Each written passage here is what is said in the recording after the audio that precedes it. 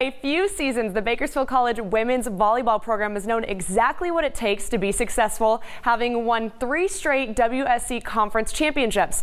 Well, this year has no, or looked no different, looking to keep their perfect record in conference play going tonight. The Renegades hosting Antelope Valley College, also riding an unblemished record on home court in the first set. Gades already up with a hefty lead. Tehachapi's Allison Dees with the tip drill there for some more points on the board. And why not show off her hitting skills too? Two. The freshman blocker with the kill as BC takes the first set 25 to 9.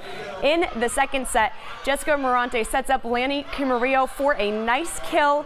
And then it's going to be the former Titan, Frontier Titan, Penelope Zapata, who gets one of her own here. The Renegades grab their fourth straight sweep, beating Antelope Valley 3 to nothing.